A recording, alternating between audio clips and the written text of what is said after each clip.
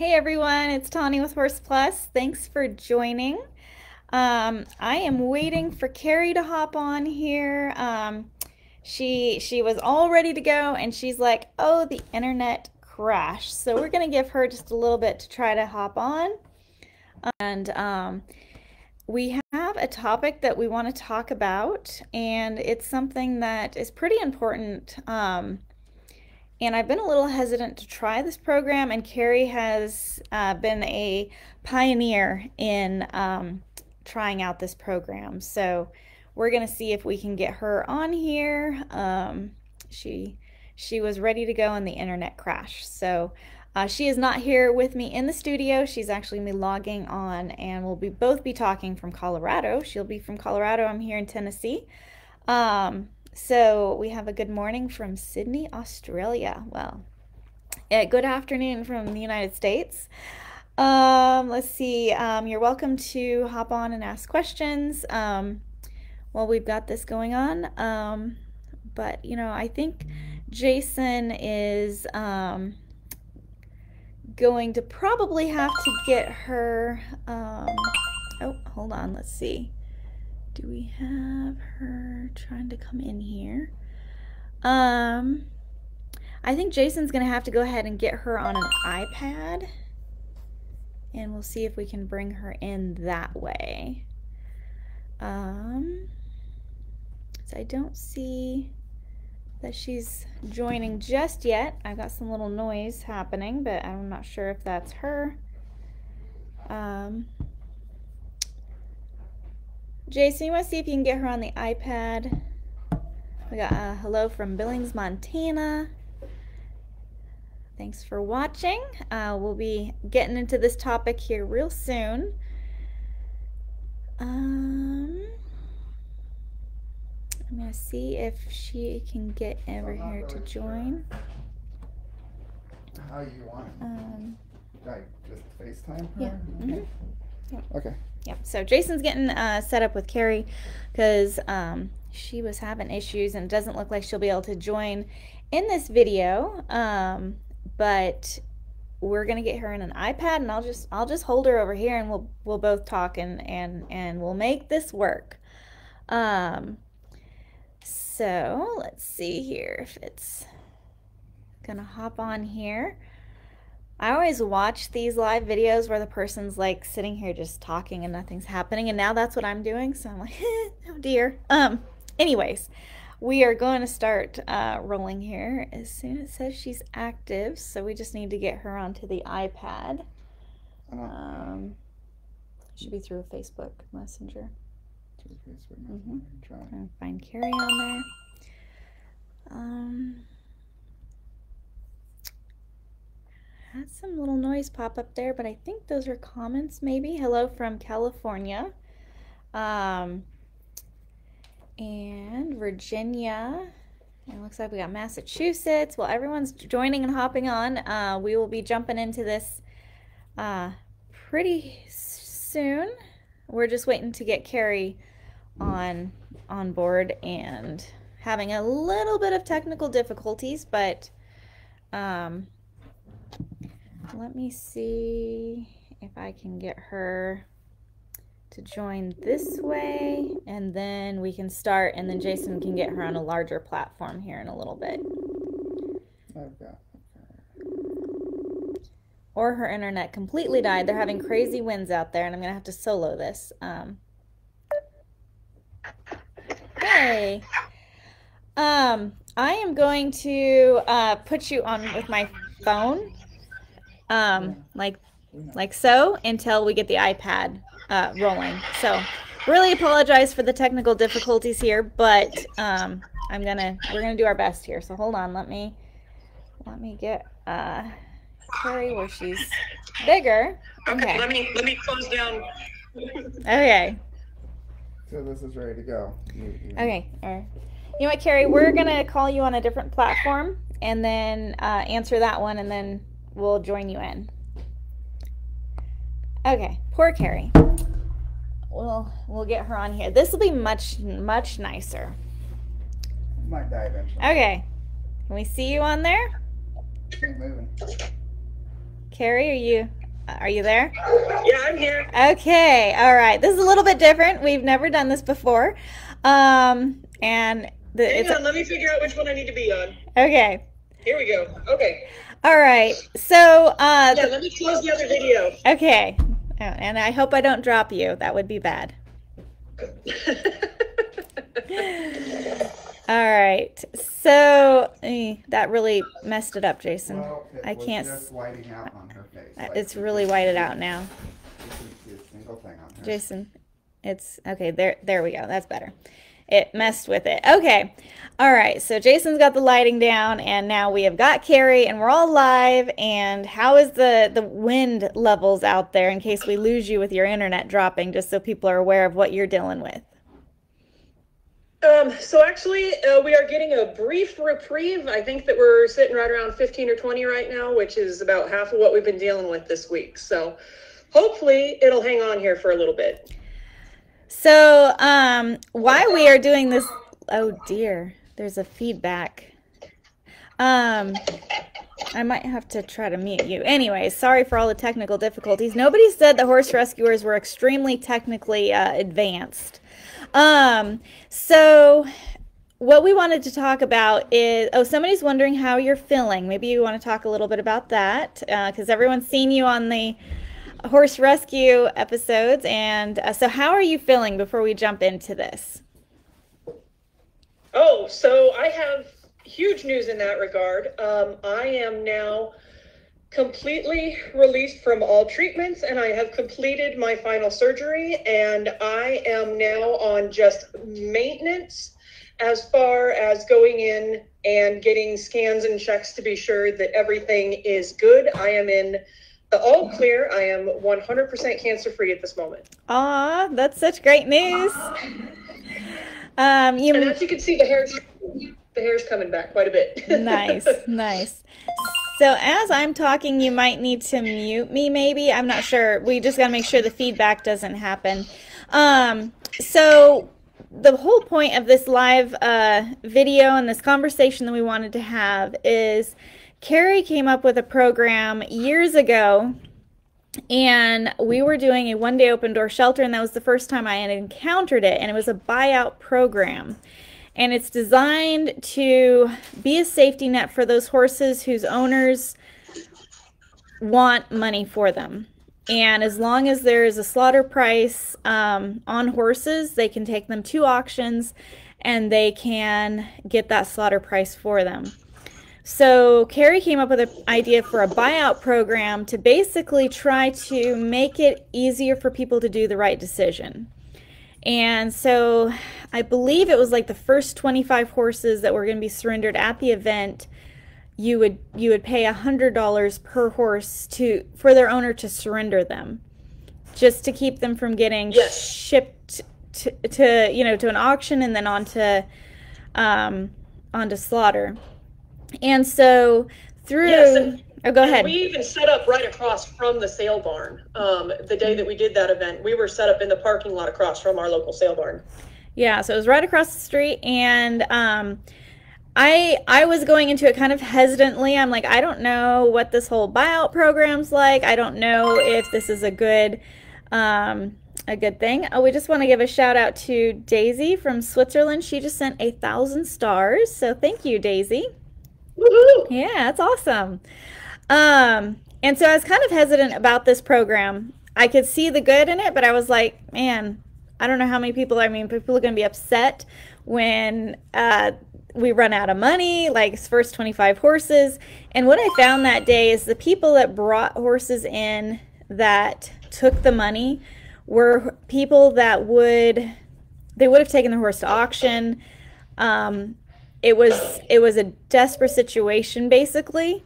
Um, and I know when we were talking about this program earlier, you were telling about um, somebody who took advantage of the program and like she was going to use the money to buy groceries. Like it's kind of reaching a different group of people who don't have um, the options or the financial means or they don't care and they want money for their horse. Um, so maybe I've I've done some talking here, Carrie. Why don't you talk about this program and and how it all started with you, and how you're wanting this program to grow across the United States.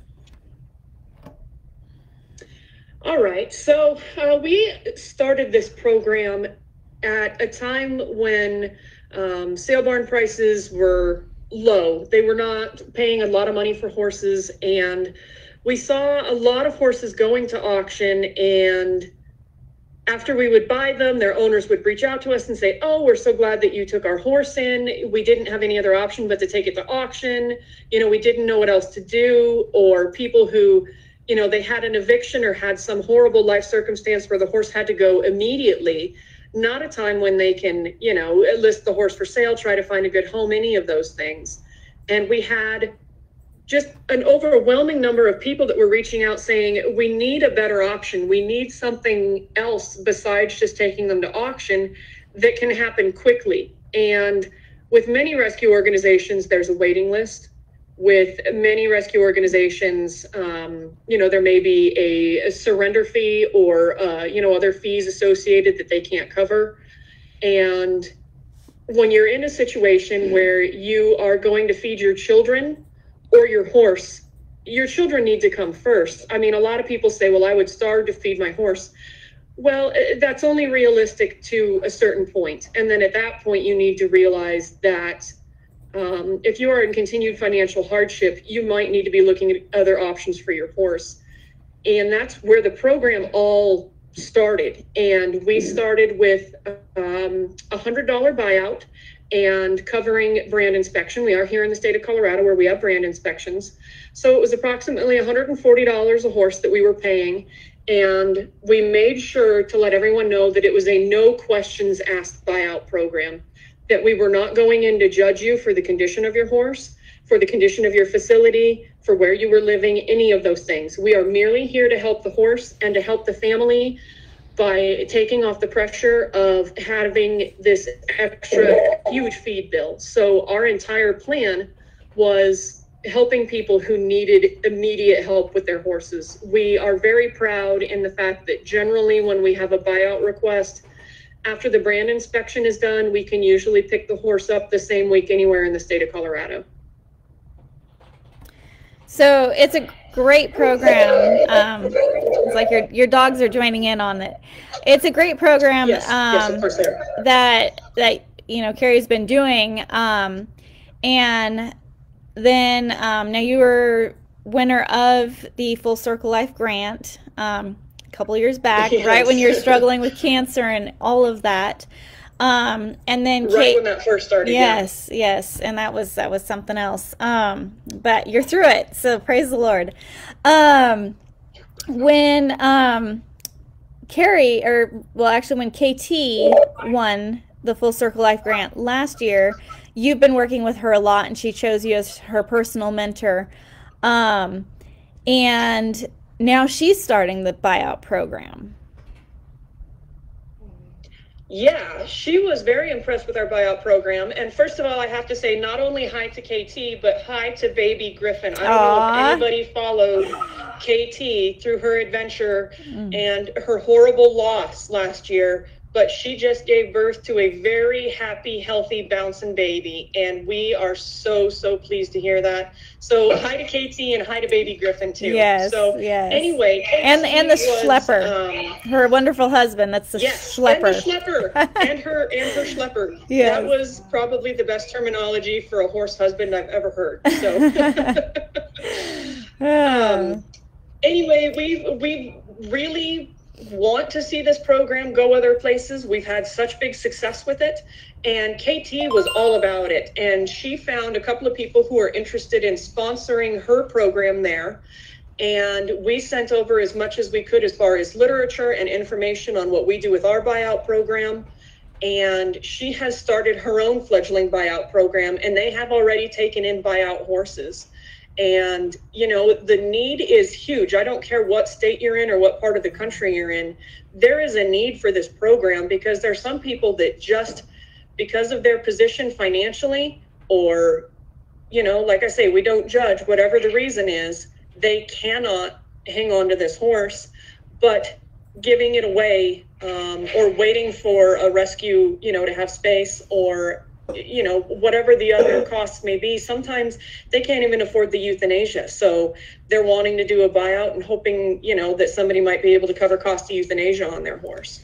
And that's And what that's, that's the point. That's one thing we see at auctions all the time. And in 2008, when we first did the free euthanasia clinics, it was because I was seeing so many horses in horrific conditions at auctions, and I wanted to provide a different option for them, a humane option. And that's when we started the free euthanasia clinics. Uh, back 2008 and it had never been done before and i was like you know what this is the right thing to do and i don't you know this might be the end of the organization, but I'm going to do it because this is what needs to happen. Uh, it, seeing horses, especially old horses, go to auctions that their owners needed to give them the last act of kindness would have, you know, would have saved them so much suffering. Um, and then here in Tennessee, we have a unique situation, and we had a drought uh, last year. Now I know from Colorado, it probably didn't seem like you know there would be a drought here, but it's always green and lush looking. But the grass stopped growing last summer, and hay is very, very hard to find here right now. And there was a little pony that came in yesterday that was colicking, severe colic. And the owners just loved the little pony to death. But it was colicking and they had taken it to vets and they like they brought it to us as a last last ditch effort and unfortunately we weren't able to to fix that pony because the colic was so severe, uh, Dr. Nancy ended up doing a necropsy, and the pony had like this black, gritty stuff in its colon. And um, I ended up calling the owner back who surrendered the pony, and I said, you know, it's got some black gritty stuff. And she's like you know what? That's from the hay that i'm buying right now. It's imported into tennessee. I just can't find other hay. And so now she's she's up a creek because her own horses that she has still you know they they could be at risk of this um, so you take oh, yeah. you take her and she's she's able to you know still provide options now she knows she needs to get different hay but there are people out there that can't afford the hay and we're seeing a lot of horses at auctions that you know could benefit from this program that could never have even ended up at an auction and I know you can talk about this too, but I'll just I'll talk a little bit about it and you can talk about your experiences. When a horse goes to auction, um, they are immediately subjected to a horrific host of nasty horse diseases and sicknesses, and it's um, you know we've seen a lot too. And if you want to talk about that too, Carrie, of what you've seen at auctions and why this program's good to prevent horses from even ending up there in the first place. Yeah, so when you've got someone that, you know, that even kind of cares about their horse, it's horrific to think of that animal going through an auction. This is a horse that's known love, that's known care, and then the auction, I can't picture a more stressful situation for an animal. It's being moved. Rarely are they led. They're usually, you know, pushed around by um, workers at the auction, you know, moved pen to pen. Um, they're handled sometimes well and sometimes not at auctions, you know, depending on the employees that are there. But they're herded into pens, sometimes with strange horses. Um, there's tons of sights and smells and people coming by and looking at you and poking and prodding you. And because there's so many horses coming from so many places, disease is just rampant at these locations. And it's very difficult to think what a horse must be going through when they were just happy at home in the pasture that morning and then that afternoon they're at this horrible auction barn that's got all these crazy smells most auction barns sell all kinds of animals so i mean they're going to be smelling um, you know eh, cows and pigs and all sorts of, of things that they might not have ever smelled before and they're going through pens that are not always built for horses and if they are built for horses some of them aren't built very well some of them have you know real junky hay out in the pen. Some of them don't have any hay at all. And so this horse is going through this horrible, stressful situation um, just to be run through a ring where everyone is staring at you and people are bidding on you and deciding what your life is worth. Yeah. And it all comes down to the slaughter slaughter price. Um, Absolutely. Yeah. Um, so we just want to thank Beth for sending in her 200 stars a little bit ago. Thank you, Beth. Um, so we have decided that we want to pilot um, this program here at our facility just because with the you know the economy and the you know potential recession coming on you know i know rescues across the united states are filling it. Um, and one thing that we are like you have a private several private donors that are helping fund this and, kt's got some sponsors but um, we're going to need sponsors to get this program up and going because we are an open admission shelter and if we say we are opening it up to purchasing horses um, and the the idea would be to purchase them for $200 a horse uh, $75 for donkeys and that way it would it would keep them hopefully from going to auctions or providing another option uh, for people. So I'm going to have um, Rebecca post up the link um, that goes to our website. Um, and let's see, we got Kim donated uh, 500 stars, and so did Tina. Tina did 530. Thank you guys. That's awesome. Um, so, what are some of the challenges that you've run into with the with this program, um, and you know things that we might need to know about that we can um, learn from issues that you've ran into? Oh, we got another 500 and um, 30 stars there. Okay, it looks like the link is up there. So basically, in order for us to kick this off, and we'll get back to you, uh, I just saw that link there and I got sidetracked. You know how that is with me. I'm like going along and then something pops up and I'm like, oh, yeah. Um, anyways, we need to get sponsors of $25. Um, that's not very much. But if we all come together um, and donate, you know, $25 a month, that will give us the ability to count on that money coming in on a monthly basis to purchase horses through a buyout program. So were you just swamped, Carrie, when you opened up the program? Like, what are we, you know, so the goal would be that we open this up in May. Um, so when you started this, were you just swamped with a whole lot of horses all all at once? Uh, people wanting you to bring them in. You know, I was actually surprised at the number of people that contacted us um, that were needing to surrender their horse, and then, you know, through one means or another, um, they decided not to take the buyout, but the actual numbers in the beginning were insane. Uh, I would say that first month we had um, 50 requests or so, and I believe that we ended up with 30 some horses as part of our buyout program.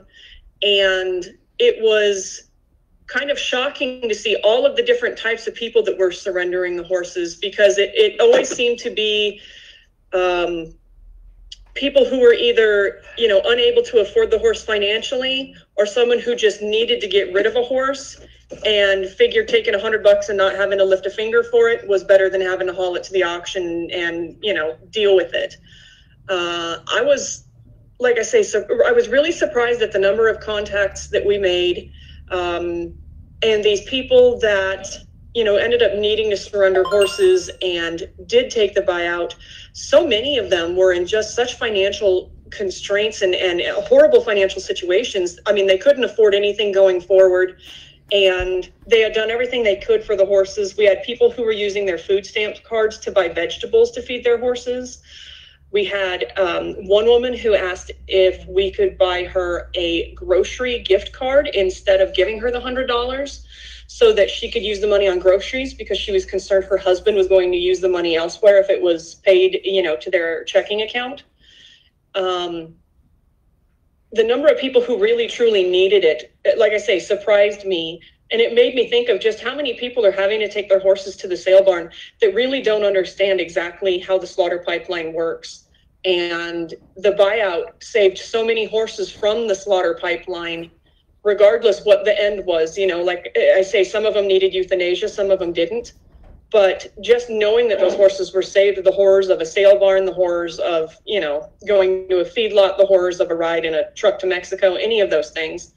And all of these owners, so many of them, when we went there, said, Well, we're just really glad that you took this option instead of taking your horse to auction because bad things happen at auctions. And they would just uh, look puzzled. So many people don't know what really happens at horse auctions Um, our horse auction is today. In fact, that's uh, why you keep hearing my phone beeping in the background is updates on our own auction here locally. Yeah, so um oh, it always does that little echoey thing at first. Um so the goal is that we will get um two I think it's 200 sponsors at the $25 um a month just to help cover expenses when these horses come in. Now we do have a full-time veterinarian, but you know she is on on salary and we have to pay her. We have to pay you know the drugs that the horses need. Um, there's just a lot of expenses involved with bringing a horse into your organization, and I know you know this well. Uh, that we we struggle oh, with as rescuers. It's it's real easy when we're bringing the horse in and there's a lot of action around the rescue, but then afterwards there's not a lot of excitement and donations to help. Um, and so I'm kind of asking our, our donors and, and followers to, you know, put your foot out just a little bit. Sign up. There'll be a link. Um, Rebecca will be posting the link again to our, our page there. Um, click on that. Become a, a sponsor of this program um, because it's gonna. Now, who do we have entering the uh, entering the camera? yeah, when you've got cats, they have to see what you're doing. There's just, just there's just nothing you can do about it. wanted the the three seconds of fame there. um, so as long as we are getting in these these um, these sponsors, I see no reason why we can't open this program up and and hit it hard and help a lot of horses and hopefully see less horses in critical conditions, you know, at auctions. Have you seen any impact uh, with all the the buyouts that you've done as far as them I mean not going to auctions? I know people seemed oblivious that, you know, horses were going to slaughter and stuff, but what type of impact have you seen? Here locally, we saw a huge impact, particularly at our local sale barn. Um, you know, a lot of our impact was reasonably close to home. I imagine that was because we had some news coverage and some paper coverage and stuff like that here locally with our hometown, um, you know, news uh, media. But it was really kind of surprising the number of horses that we started seeing at the sale barn. Um, you know, as, as far as the decrease, I mean, just within the start of our buyout program, um, we even, you know, without asking too many questions, asked how many of these people were considering, you know, taking a horse to the local auction here before we picked it up. And nearly every single one of them was considering taking the horse yeah. to their local auction because they just need, uh, you know, rid of the horse and they needed whatever money that they could get for it. And they just needed to go on about their day.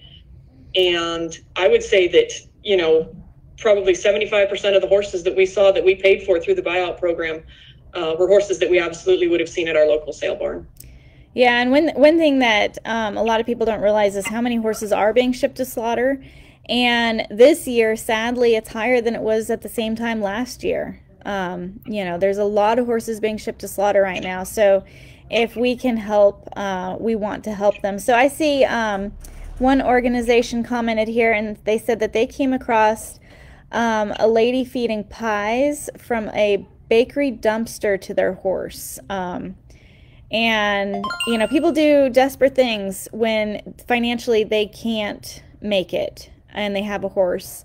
Um, I know there was absolutely. We have we have a gal here locally that goes to the bakery and picks up day old bread, and that's all their horses have eaten in in months is day old bread. Yeah, I was working with one district attorney, and he's like, they're feeding the horse bread and that's all the horse is eating. And you know it's it's it's rough. But we as rescuers have to look at these situations and try to figure out how we can make a difference. And um, you know i know there's a lot of controversial issues with purchasing an animal.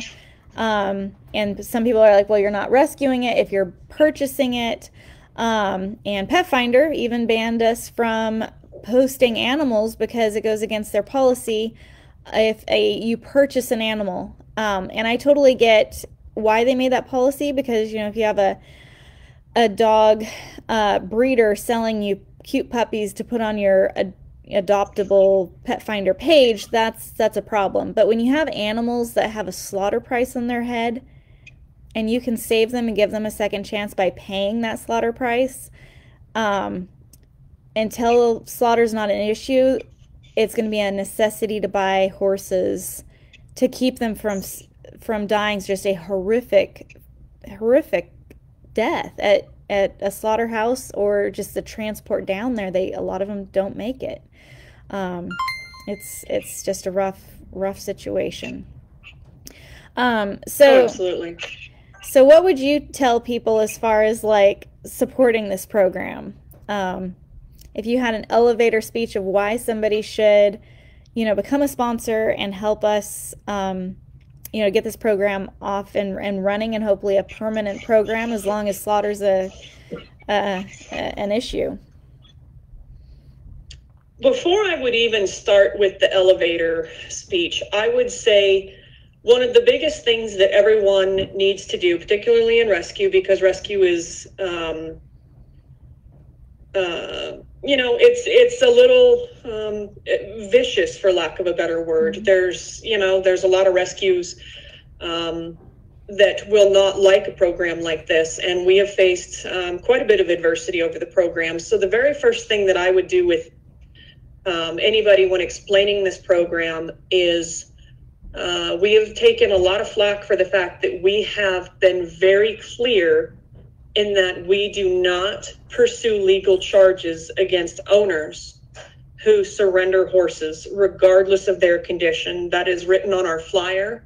It is written on our website. It is a very well known fact. Um, we are a no questions asked buyout. I don't care if the horse is emaciated. I don't care if the horse is injured. I don't care if the horse is sick. I don't care if the horse is dangerous we assist every horse. This is this is a full circle program. This isn't we're going to go and we're going to take the nice ones. This isn't you know we're going to leave the skinny ones behind and then call the sheriff on you. That's not what this program is about. And we have even gone so far as having meetings with our local law enforcement and they have said that they really feel that this is an excellent resource for people who don't have options a lot of people fear, especially in Colorado, they do cull horses from the sale. They do pull horses from the sale and and you know not allow them to sell if they're in a bad enough condition or if they're sick enough. And if you can't afford vet bills and you can't sell your horse at the sale barn and you don't have the ability to put the horse down, then what are your options? And this is giving someone who wants to do the right thing an option. And that is the number one reason that I support this program without involving law enforcement. All of our followers know we are really big on assisting local law enforcement. Um, we have worked with a lot of seizure cases. We've worked with a lot of um, forced owner surrenders, I guess you could say, and never have we taken any flack from law enforcement over the fact that we have not turned in someone who has surrendered or done a buyout on a horse that's in terrible conditions. And honestly, I will continue to stand by this program that if somebody has a horse that they need to give up, like I say, I don't care what's wrong with it, that horse needs help. And if these people are in fear of retaliation, they're not going to seek help for that horse. So having a program where you know that you are not going to face any repercussions for having a sick, skinny, whatever horse, um, I think is really, really important in especially any community that has sale barns and slaughterhouses. You know, there's a, a, horrible feedlot situation in Colorado, and keeping the horses out of that is great. But like I say, when you've got owners that are in a situation where they have no other option for their horse, um, this gives them an outlet to do the right thing. And I would, like I say, that would be my number one soapbox stand about this um, because we do take a lot of flack, especially when we get horses that are body condition score ones, um, horses with horrible, horrible untreated injuries. People say, Why did you not call law enforcement? Well, if we start calling law enforcement, these people are going to stop surrendering these horses like this, and then these horses are just going to be left to suffer and languish. Law enforcement didn't know about them already. The chances that they would have found out about them before they died isn't good. Yeah, no, I can I can totally see that that aspect. Um, the one thing that we run into all the time is that a lot of times you can have a horrific horse case and law enforcement doesn't do anything. Um, if it does go to the court cases, it gets dismissed. Um, you know, there was a, a court case that happened here several years back, and we we held the horses for years, and the lady ended up getting them back, and we we weren't reimbursed for feed and everything during those years. So it's it's a broken system that we are in for horses and and law enforcement and I think we kind of just have to take this as the same situation as, you know, horse slaughter. It's a problem and there's really no solutions. So we have to take the best solutions possible. And that's getting the horses out of the slaughter pipeline and then also getting these horses out of these horrific situations. Um, and you know everyone has to decide you know what the program looks like and and stuff but you know it's just in all the years of rescue, the actual amount of actual cases where somebody ended up in trouble um, for horse neglect are so small. I can practically, I think I can count them on one hand because there's just not good laws out there for horses. And that makes our jobs even more challenging. Agreed. So um, absolutely, I just wanted to give a shout out to Tina and Daisy. They both signed up to be twenty five dollar a month sponsors of this program, and hopefully we get a whole lot more.